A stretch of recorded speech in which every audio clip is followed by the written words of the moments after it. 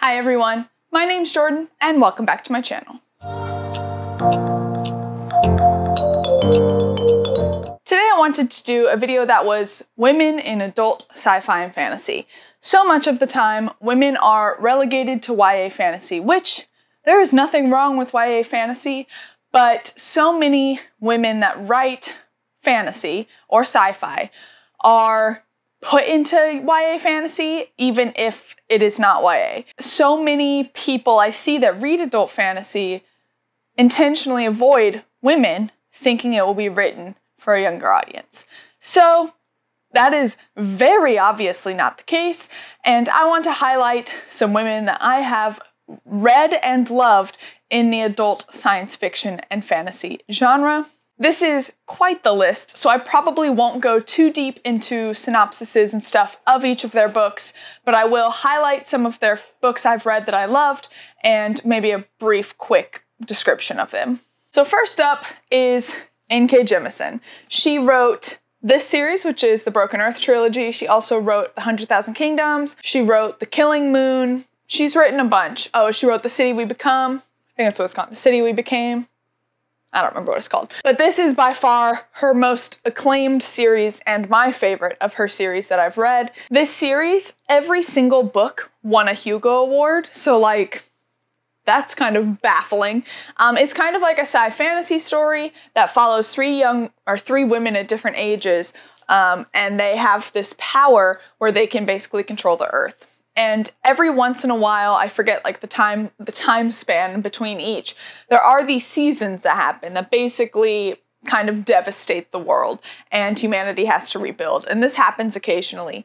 And these people with this earth magic basically are controlled by the government and they protect humanity from these seasons and kind of calm the earth but they don't really get to live their lives to the fullest because the government keeps track of them because everyone is really scared of this magic. So you follow these three different women as they try to live through this fifth season, and it is beautiful. I think the first book is definitely the strongest of the three, and it, the third book goes in a wild direction that many people either love or hate. Um, I loved it it gets very science fiction heavy by the third book. Um, but I think that this series is masterful.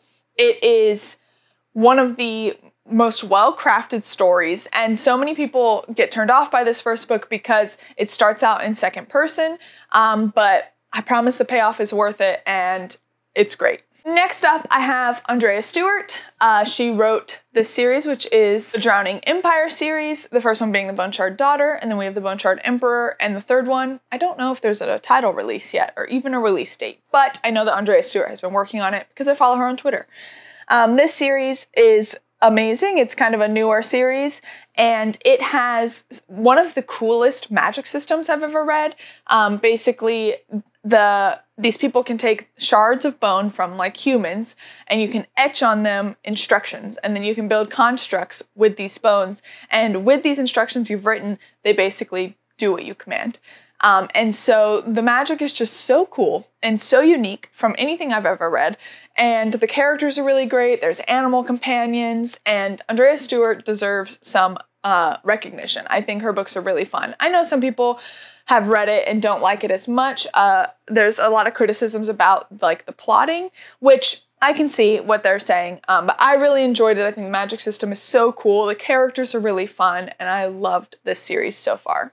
Next up, you didn't think I'd forget to mention this. Robin Hobb, the master of character work. So Robin Hobb has this very large series called The Realm of the Elderlings that has some series within it. The first one being the Farseer trilogy. I have started the Tawny Man trilogy, which is the third series in the Realm of the Elderlings, and already loving it. Like I ha- there has not been one single book that Robin Hobb has written that I've read that I have not liked. I think that the Live Ship Traders is definitely my favorite so far, uh, just because I felt like I connected with the characters a little more because it is a multi POV story.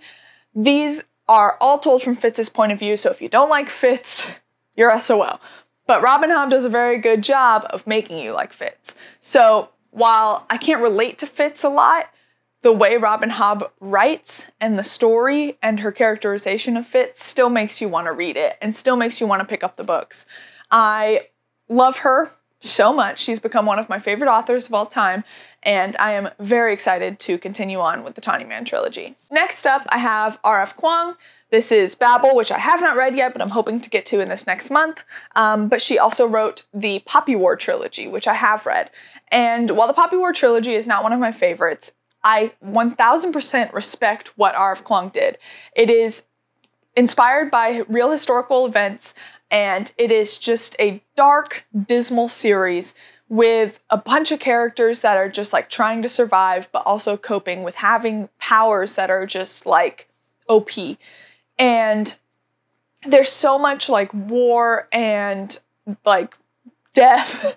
they are very, very dark books but they're masterfully written and the historical influences are amazingly researched and i am so excited to get to this like dark academia version of R.F. Kuang because i think that a lot of what i didn't like in the poppy war was just how war centric it was um, so i'm hoping that this one works better for me next up i have fonda lee who wrote the greenbone saga which another series i absolutely love the first one being jade city and then there's Jade War and Jade Legacy.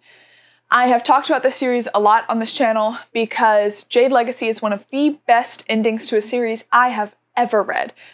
Ever read.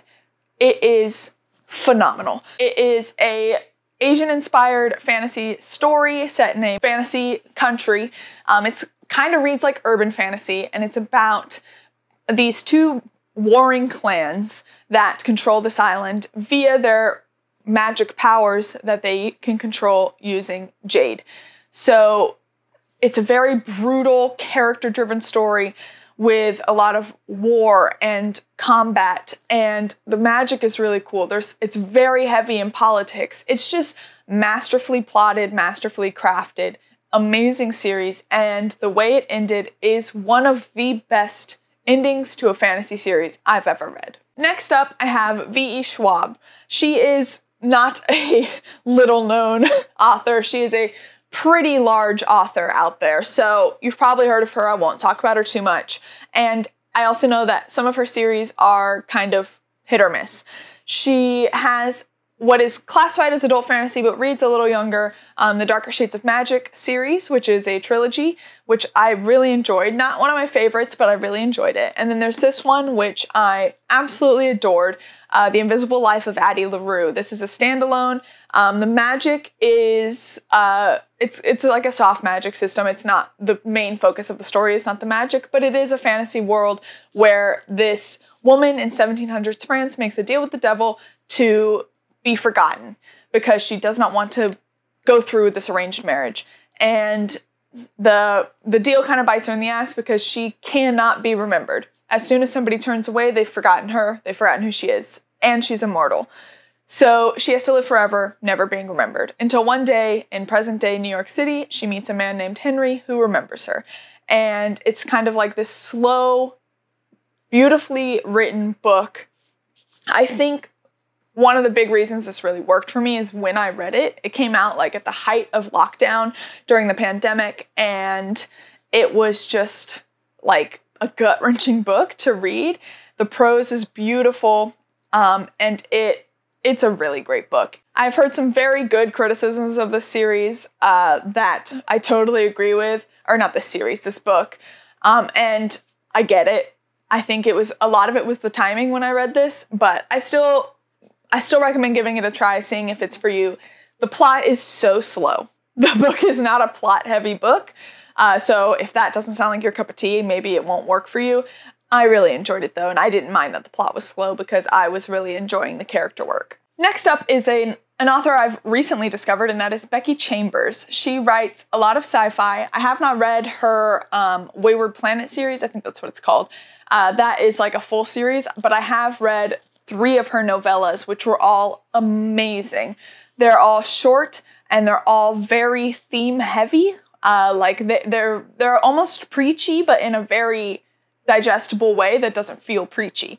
Uh, there, it's a, a lot about what it means to be human, what it means to exist, what it means to coexist with others. And it is the way she's written it is just they're all so far amazing, and I am so excited to read every book Becky Chambers has ever written. Next up, I have ML Wang. I have only read one book by her, but it was amazing, and that is The Sword of Kaigen. This is a self published fantasy book that is got a really, really interesting elemental magic system, and it's very politics heavy. I don't want to get too far into it, uh, but it deals a lot of themes of like motherhood and family dynamics and misogyny, and it's really cool. The combat is some of the best combat I've read in fantasy, and it's just it's a really great book and it's a standalone. You don't see fantasy standalones that often so i highly recommend you pick this up. Next up i have octavia butler. Uh, she is mostly a sci-fi uh, writer but it's got some fantasy elements tied in in some of her books. I have only read parable of the sower uh, and i am hoping to read parable of the talents in the next couple months but that book was so good. It was honestly a very harrowing read because it feels very um, accessible. Like like the plot itself seems like something that could happen, and it's terrifying. But the way she wrote it is very it's it's dark uh, and i think that's the intention that is like what her goal was was to get you to see like this could happen and what are you going to do to stop it uh, so she is a master in her craft and she is also a well-known author. Her books are pretty well known. I know she also wrote Kindred. She wrote Fledgling, which is a vampire book. I DNF'd Fledgling recently, not because I wasn't enjoying it, just because it was kind of weird and it really wasn't what I was looking for at the time. Um, but I don't, it has good ratings, so I don't think it's a bad book. I was just wasn't what I wanted at the moment. Next up, I have Leigh Bardugo, another author that is very well known, but she's mostly known in the YA genre for her Grishaverse series. And not as many people, I feel like, I still think a lot of people have read it, but not as many people have read Ninth House as that have the Grishaverse. And this is Leigh Bardugo's urban fantasy that is an adult fantasy. And it uh, deals with magical secret societies at Yale. It is phenomenal, and the second one actually comes out in January. So, like, get on this now uh, it's also great for fall because it's got like that spooky dark academia cold vibes. So definitely give this a read before January so you can get caught up for the next book.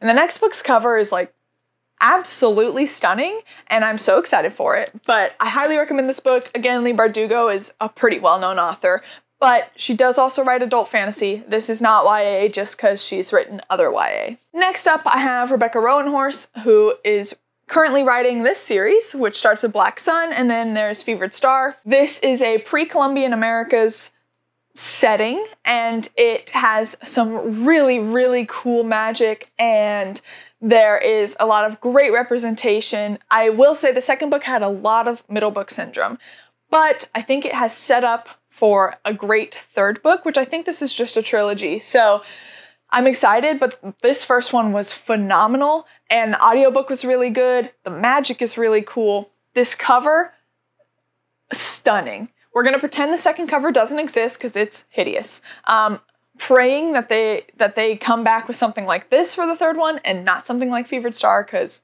guys, Fevered Star's cover is bad.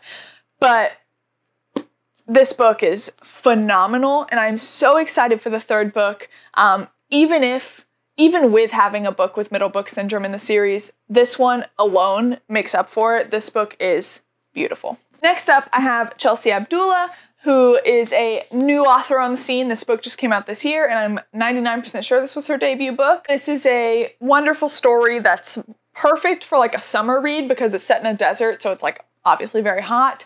And it's got really cool magic with Jinn, and there's really awesome battle scenes. The characters are really relatable and well developed. I'm very excited for the continuation of the series and whatever else she writes because if this is her debut book, like I can only expect it's going to get better because this book was phenomenal and I don't see a lot of people talking about it on booktube and it's great. Like, give it a try. It's very different from a lot of adult fantasy. It's not medieval fantasy, which I feel like so much of BookTube, or at least maybe it's just the side of BookTube I'm on that talks about adult fantasy, focuses so much on like medieval fantasy and things like that. When there's so much other adult fantasy out there that is just as good, if not better, than a lot of the traditional medieval fantasies. Like there's more to fantasy than that. And this is a perfect example of that. It is very good, deals with some dark themes, deals with a lot of incredible characters, really cool magic, really cool combat, immersive setting. It's a great book. Give it a shot. Next up, I have Silvia Moreno Garcia. Now, Silvia Moreno Garcia is unique because all of her books are so different, and it makes her one of my favorite authors, even though some of her books have not worked for me, because she tries everything. This is one of my favorites of hers. This is like a haunted house, gross, spooky book, um, Mexican Gothic. Beautiful cover. Um, another one I really liked was Certain Dark Things, which is an urban fantasy set in Mexico City uh, with vampires and stuff, and it's so cool. But like again, so different. And then she has the beautiful ones, which is fantasy light. There's not a fan- there is fantasy in it, but it is not the focus, and it's more of like an elitist um, romance high society book. So, like, all of her books are just so unique, so different from each other, so different from anything else that I'm reading. And they're all mostly like smaller books, so they can all be quick reads. I'm pretty sure I read this in one sitting. But her books are all so good. And I think that she should be talked about more in the adult fantasy genre setting booktube because, like, even if you don't like if you read Mexican Gothic and didn't like it, that does not mean you won't like her other books because they're all so unique. So I highly recommend Silvia Moreno Garcia. All right, guys, we're in the home stretch. Two more. Um, first up, I've got S.A. Chakraborty, who wrote the Daevabad trilogy. She has a new book coming out next year. New new world, new setting, new series, and I'm so excited for it. The Daevabad trilogy is one of my favorites. It is a Muslim inspired fantasy story that is set in a fictional city of Daevabad. And it starts with City of Brass, and then there's Kingdom of Copper, and then Empire of Gold. They're phenomenal. They're politics heavy. The magic is so interesting. The whole book is very atmospheric, the whole series, I mean.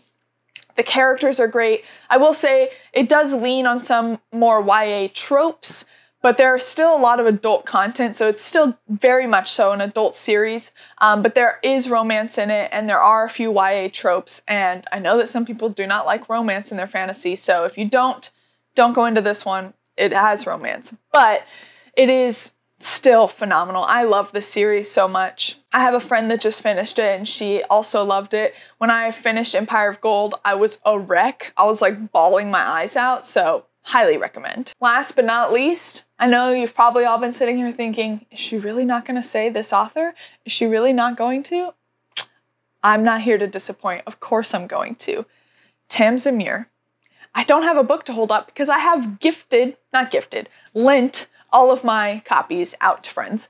But this series, The Locked Tomb, which has Gideon the Ninth, Harrow the Ninth, and Nona the Ninth, and then Alecto the Ninth, which isn't out yet.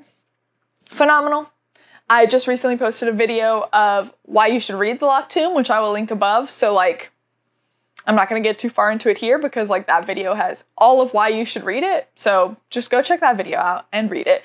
But Tamsyn Muir is doing something in the adult fantasy sci fi genre that is unparalleled. I've never read anything like these books, and she is becoming one of my favorite authors of all time, already in the top five for sure. And I'll read anything she puts out. Like, will she be able to put out something that I love as much as Gideon the Ninth after this series is done? Like, I hope so. But even if she wrote Alecto the Ninth and then retired, I'd be like, respect, respect, because this series is something else. It's already got like a very special place in my heart, and I love all of these characters so much. But again, go watch that video for more of me gushing about this series. So that is some of my favorite authors that are women that have that are writing in the adult science fiction fantasy genre today. I know there's many more. So please comment down below and let me know some of your favorite female authors that I did not list here. But please, if you are looking at your TBRs and you're looking at your wrap ups and you're like, wow, a lot of these are written by men, which I have done. I've looked at a wrap up and been like, I read one book by a woman this month. Reevaluate add some more women to your TBR because you are missing out if you are only reading fantasy by men. Not to say that fantasy by men is bad. Some of my favorite fantasy books are written by men, but you're not going to get the whole scope of the fantasy fantasy genre without branching out. Reading authors of color, reading women authors, reading non-binary authors, reading other perspectives in the fantasy and sci-fi genre is so necessary to being a well-rounded reader. So, please, I implore you to diversify your reading. Look at your wrap-ups, look at your TBRs, diversify. It is important and you will enjoy it. I promise you will enjoy it. So just give it a try. I forgot I was wearing my Shrek shirt for this. I don't remember where I got this, but let's all appreciate this good Shrek shirt. Anyway, that is the end of this video. I hope you enjoyed it. Please like, comment, and subscribe. Again, let me know down below uh, any more adult fantasy sci-fi genre authors that are women or non-binary that you want me to check out because I I'm always looking for more. They're always so good. Not always. There's some there's some duds. They're a lot of the times very good, especially when I get recommendations from friends. If you really like my content, please hit the notification bell to be notified every time I post new videos. As always, your support means the world to me, and until next time, thank you guys. you